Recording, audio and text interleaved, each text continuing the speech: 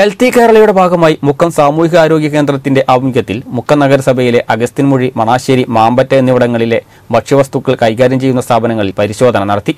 പരിശോധനയിൽ ഉപയോഗശൂന്യമായ ഭക്ഷ്യവസ്തുക്കൾ പിടിച്ചെടുത്ത് നശിപ്പിച്ചു. കേന്ദ്ര പുകയില വിരുദ്ധ നിയമപ്രകാരം നിയമലംഘനം നടത്തിയവരിൽ നിന്ന് ആയിരത്തി രൂപ പിഴ ഈടാക്കി. കുടിവെള്ളം രാസപരിശോധനയ്ക്ക് വിധേയമാക്കുന്നതിനും ഹെൽത്ത് കാർഡ് എടുക്കുന്നതിനും സാനിറ്ററി സർട്ടിഫിക്കറ്റ് എടുക്കുന്നതിനും സ്ഥാപന മേധാവികൾക്ക് നിർദ്ദേശം നൽകി. മുഖ്യ മുനിസിപ്പാലിറ്റിയിലെ വിവിധ പ്രദേശങ്ങളിൽ വരും ദിവസങ്ങളിൽ പരിശോധന തുടരുമെന്ന് C S C medical officer doctor Mohanan അറിയിച്ചു.